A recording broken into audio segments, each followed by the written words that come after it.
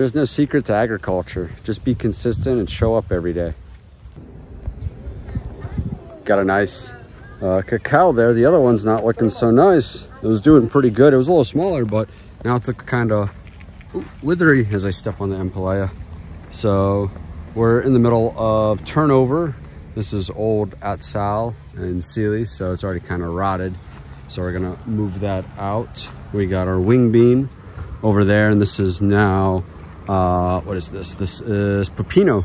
So we have all our Pepino transplanted. We only, only did a little bit. We're kind of keeping the Pepino and the Ampalaya, all the vining stuff, uh, Sayote, all in the same area. We started our migration over there. They're doing a okra harvest and probably weeding. It's super itchy. And then we're starting to plant into the field succession wise. There's not too much that's gonna end up growing together, but it just gets us a good long-term growth. So let's go walk around and take a look at the checks that we got. So wind hasn't been too bad, but I do like that they staked down the, the pepino. Looks pretty good uh, for that. So that's just gonna be personal consumption, maybe a little extra surplus market selling. Nothing crazy. Doing a lot of maintenance right now on the farm. I had to buy another sack of fertilizer. Luckily the prices have kind of stabilized. So it's been it's been a little bit better, but it's still expensive just for the amount, especially for the stuff that we're gonna do here. They're gonna get a lot of sun, so we're gonna swap out. So here's some of the heat that's gonna happen. So they did put a little bit of Nitrabor and fertilizer, but you can see casualty, casualty. This is probably just due to the heat because we were having a bunch of rain and then not rain and then rain and not rain. So it's just gonna be one of those parts where you're just gonna lose X amount of transplants. So this is all gonna be hot pepper. So let's go walk up here.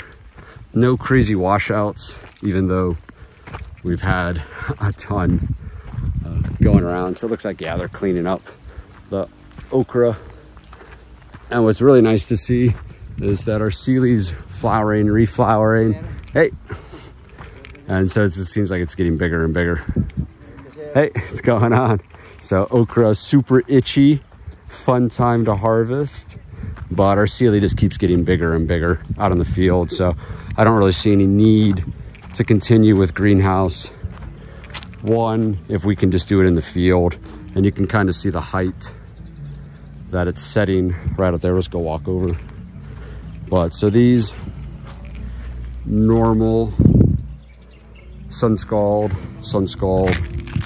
So you guys have normal parts. So what I have the guys do is they just write down at the beginning of the season how many they planted. So it's 159, 158, 154, 154, 150. So I know that in this section, there's that. So as I check it uh, a month later, then I know how many live, died, I need to replace because I should have extra transplants over there. So let's go check on vanilla. All I like breaking up those videos. Makes it a lot easier for me to edit. So let's see how vanilla has adapted to its new home. Nothing crazy. Nothing's normally gonna eat these guys. I'm gonna do some Osmocote, which is like a 14, 14, 14 uh, slow release. So it's good for whole part. This was your stereotypical sun scald right into there in the bottom. This is vanilla sun scald, where it's probably getting cooked a little bit. You can see a little bit there. So this spot was probably sunny uh, compared to the others, but we can at least see the canopy denseness. This is our durian tree. I don't see a lot of new flowers on it. So there was a lot last time. Now there's not a lot. Let's go take a look at this one. All right, so this one started. We'll push that up with Osmocote and do a spray. Hello, doggos. Let's take a look. So a little bit of flowering. Let's see how you're doing. You don't look, you got a little sun, didn't you? Where is your, see I'm like checking here. Where is it? Did it fall off or die? No, we got new growth right there. You can see that, oh, of course, you can see that growth point. So there is new growth, you can see that, but always checking because these I try to root them before I bring them up here. And then I let them adjust under the shade because they're gonna go into that greenhouse behind us. So I'm just kind of seeing how they adapt. So something here likes eating vanilla and probably has a bad tummy because you normally don't want to eat vanilla. It's pretty uh, annoying. This one did pretty good with its shade. The crazy ones there. So wander around. So one of the big things uh, that you end up doing is you end up just checking a lot. So this vanilla has found its spot and it has now made itself a home. So it's now starting to climb up that tree. So that one was probably a great example of vanilla accepting its environment. Uh, let's see the other ones. Other ones, not so much, not too bad. And these guys, you know, they want semi-shade. They want bright, but now they're kind of picky sometimes in what they do. But we're looking for vanilla to accept its new home. This one's got a little ant. So that's one things we want to avoid you want to avoid ants and any part that could uh, pass on disease and viruses. So you just want to make sure you limit that. So you end up treating for the ants, not so much whether it's your crop's going to have any viruses on it, but you're treating for that. So okay, no, no epic failures.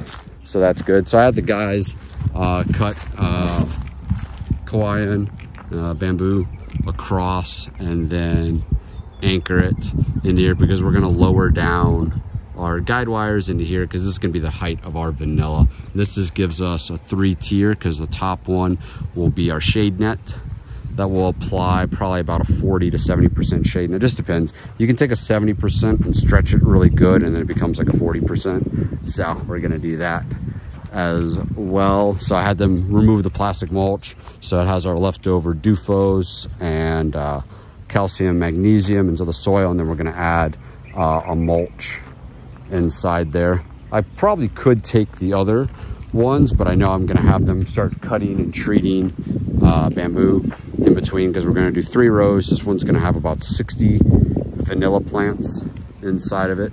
So not too bad. Let's go mosey on over to greenhouse one. We had caterpillar attack. Let's go take a look at that. So Treen, grandmother, papa, they're doing okra harvest and probably getting super itchy and taking a look at the Sili. I'm gonna go take a look at our crazy caterpillars and see what's going on in here because we had a crazy caterpillar attack, which is weird because been really uh, hadn't noticed anything. Noticed some curling in our Sili, but nothing that would lead me to believe that there was a, uh, a ton of issues. I still see some of that bright lime green. But yeah, I'm really more impressed with uh, outside Sili. This one just looks pretty because it gets tall, but you produce a bunch of leaves and not a lot of fruit. So the outside field is still growing and actually not even peaked yet in its height. So the outside field is kicking this one's butt in terms of production. But this has been a good experiment, at least to kind of do Sili inside of here. We did treat, so like here you have ants. Let's see, zoom in that. Ready and go.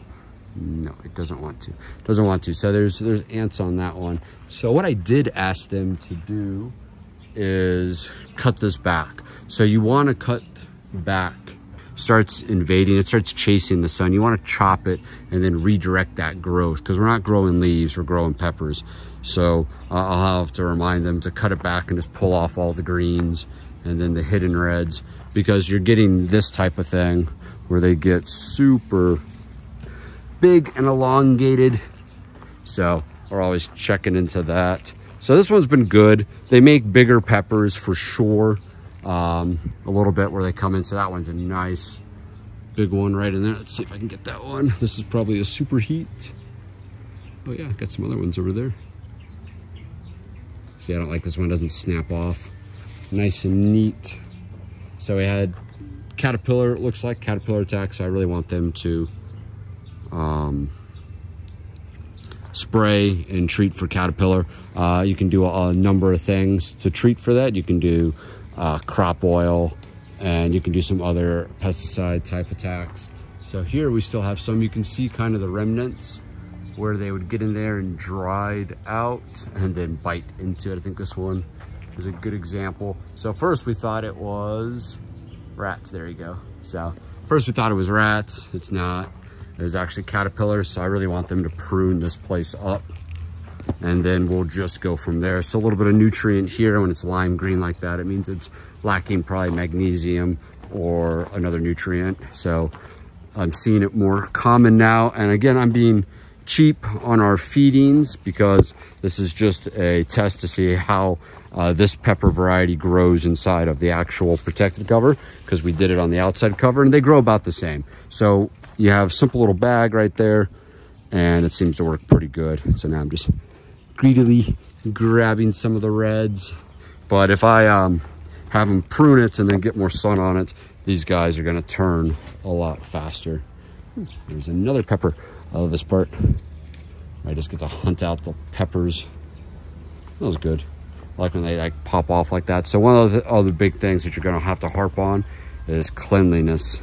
So when they do come through, your greenhouses must be clear because if you leave all that trash, what you would consider trash, correct, right? Trash, but it ends up becoming a food source for rats, for anything else, because even though these are hot peppers, they're not crazy hot peppers, and it's still a, you know, vegetable, fruit type pepper. So it's a fruiting plant. One of the big things is that don't leave stuff behind for rats or any other pests to make homes in because then it'll come back and bite you in the butt as it bites your peppers. So you just want to make sure that that's happening. So let's give you a good, good example. This is how uh, vicious these plants can get. This is already probably about 10 to 12 feet tall. It's already touched our shade net where we use in other parts of the year. Um, so it's already grown up that high. So that's already way too high. That's well outside. So I'll be uh, nagging on that later. So, you know, this is what it is, normal maintenance. I'm gonna enjoy some uh, lunch and then go through that, point out some of my uh, changes. If you like what you're watching, you know, don't be afraid to subscribe. That really helps me out. And if you like the video, make sure you click that like button and then comment down below if you want any specific things, whether it's vanilla or peppers. Again, I'm working on small batch peppers and I got another project of fermentation I'd like to share with what I do with these peppers when the market doesn't want to buy them. So I hope you enjoyed watching. Check you all in the next video. Later.